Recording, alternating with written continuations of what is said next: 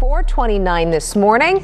Now, in the San Fernando Valley, where the epicenter is located, that quake was felt as a very sharp jolt. Like so many of us, you must be used to earthquakes. Put this one into comparison for us. Uh, wasn't too crazy. I mean, you're used to like a little shake here and there, but this one was a little stronger than normal, so. The shock could be felt in Cyprus, Syria, and Israel. In what should have been the best day of her life, a bride poses for her wedding photos. As the blast rips through, she's seen running for her life. A priest live streaming a service when the shockwaves hit. Stained glass raining down as the church shakes. Next, new evacuations in Southern California tonight as a wildfire burns across some 2,000 acres. The so-called Apple Fire breaking out yesterday afternoon, exploding overnight. Threatening thousands of people and homes east of Los Angeles. So-called Apple Fire that broke out near the city of San Bernardino. They're working in temperatures well above 37 degrees Celsius amid dry, gusty winds. The fire is still out of control. Flames broke out late Friday afternoon. In just hours, what started as multiple small brush fires is now out of control, covering nearly 2,000 acres and growing. Helicopters and ground crews futilely trying to put out the Apple Fire as it tears through Cherry Valley, east of Los Angeles. Well, aftershocks are rattling Southern California after a magnitude 4.2 quake hit the San Fernando Valley this morning. And this video that you're looking at here, this is video of the shaking right in our studio here in Glendale. Whoa, earthquake. Oh man, that was a pretty decent sized one. That was Mr. Baum's reaction when he felt the 4.2 earthquake as he was live streaming in Hollywood just before 4:30 this morning. He was already up, but home security videos caught the jolt waking up several dogs, one in Studio City, another in Highland Park. They weren't the only ones shaken out of their slumber. It was like a just a, a hard boom Josh Bashioum, the founder and CEO of Early Warning Labs and Quake Alert, felt the shaking in West Hollywood from this morning's 4.2 earthquake. This is what it looked like at a home in Porter Ranch, followed by 3.9 aftershock a couple hours later. And this morning's shaker occurred on the intersection of faults responsible for the 1971 San Fernando earthquake and the 1994 Northridge quake. This is really the first one we've had in a long while that's been in an urban area. Uh, and I think this is a real uh, wake up call for us all.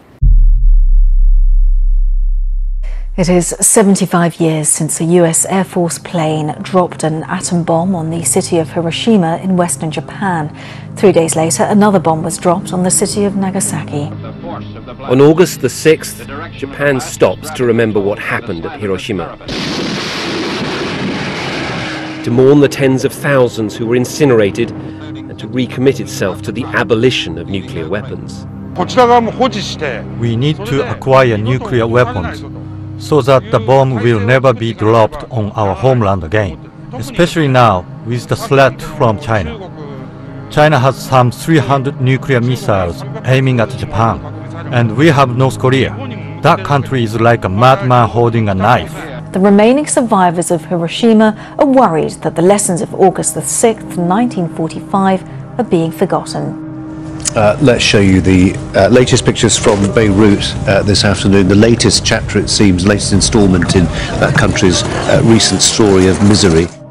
I was in my apartment when I first heard the blast. I felt an immediate uh, shake and boom. It was almost as if there was an earthquake and a bomb explode all at once. Glass shattering all around her, Salma's apartment is in ruins. The shockwaves leveling buildings, blowing out windows, felt over a hundred miles away in Cyprus.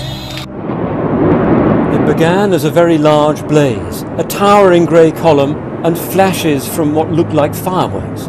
But worse was to follow. A massive explosion and as it erupted, an important clue emerged in the colour of the smoke, a reddish brown, which meant that ammonium nitrate was involved in vast quantities. A crater filled with water where a building once stood, an American living in Beirut describing the nightmare.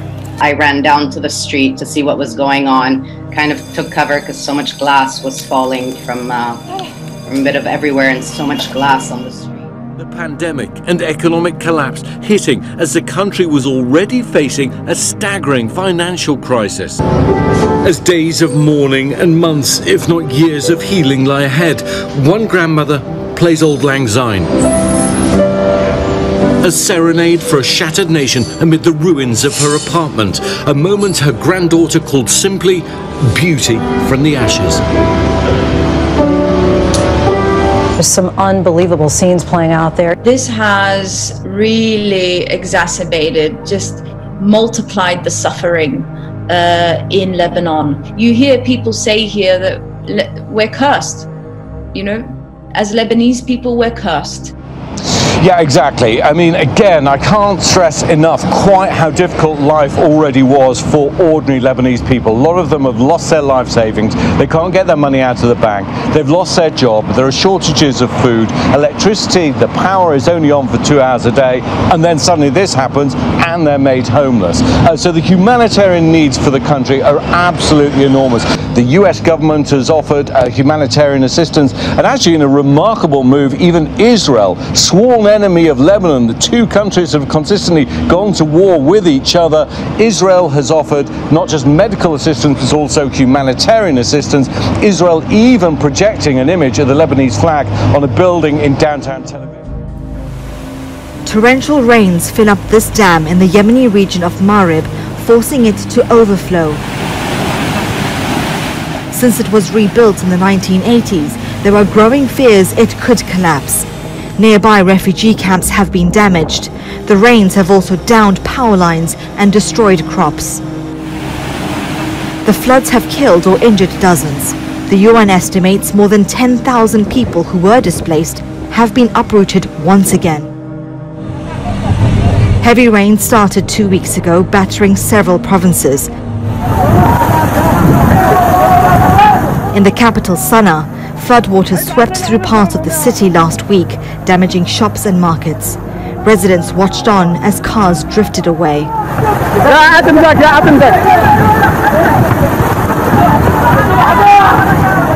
Some tried to rescue those caught up in the currents.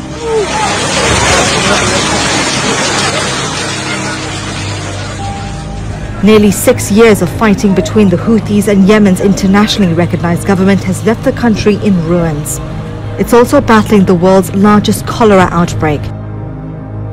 At least 15 people have died and more than 1,500 have been forced from their homes after torrential rain triggered floods and landslides in South Korea. Two areas have been declared disaster zones after 42 consecutive days of rain, the country's longest monsoon in seven years. The rescue effort is being complicated by restrictions. In France, almost 2,000 firefighters have been trying to extinguish wildfires to the west of Marseille, which broke out on Tuesday. Some 2,700 people have had to be evacuated from campsites and residential areas. The fires, which cover an area uh, of about 10 square kilometres in Martigues, are now thought to be under control. Floods are an annual occurrence during the monsoon season, but conservationists say they're becoming more severe. Taking refuge from the floods, one-horned rhinos gather on artificially built highlands in India's Kaziranga National Park. More than half of the 1,000 square kilometre wildlife reserve is underwater. Heavy monsoon rains in the northeastern Assam state have killed 143 of the park's inhabitants over the past month, including 16 rhinos. It's a similar picture elsewhere in northern India where buildings have been inundated with rainwater. Monsoon rains in Bihar have killed several people and displaced 1.5 million at a time when the state is in lockdown to contain the spread. After Tropical Storm Isaias lashed the East Coast today, the powerful storm spawned at least 20 tornadoes, unleashing powerful winds and heavy rains on nearly a third of all Americans. From New York to North Carolina, the storm downed power lines and sparked fires, leaving in its wake flash flooding and destroyed homes.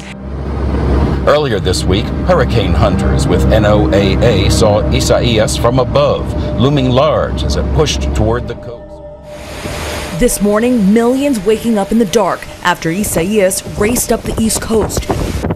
Tropical storm Isaias slammed into the northeast today, still packing near hurricane force winds Oh my God! Oh my God! at 70 miles per hour. In Bertie County, North Carolina, a tornado decimated this mobile home park. Two people are dead. It's bad. It, it, it doesn't look real. Something that you see on TV, it's like nothing is there. In Ocean Isle, North Carolina, beach homes smolder after fires broke out overnight. Images from Google Earth showing neighborhoods like this one in Pennsylvania before the storm, but after, the same streets now overwhelmed and underwater. Heavy rains flooded this Maryland neighborhood, washing out roads. Rising waters brought traffic to a halt in Delaware as major flooding trapped drivers in their cars. Isaias was a Category 1 hurricane as it made its presence known off the coast of South Carolina overnight, bringing powerful storm surge, flash flooding, and property damage. Just hours later, Isaias churned upward and made landfall in North Carolina, leaving hundreds of thousands of people without power. Other possible tornadoes like this one in Ocean City, New Jersey, and wind gusts causing down trees, wild power lines, and causing this church steeple to come crashing down.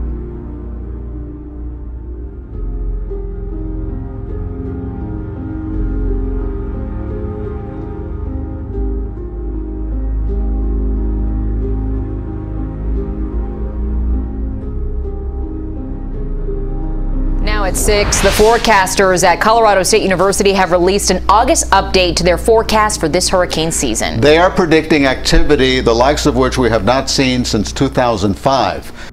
Well, federal weather officials say the 2020 Atlantic hurricane season is off to a record start, so they have revised the hurricane forecast.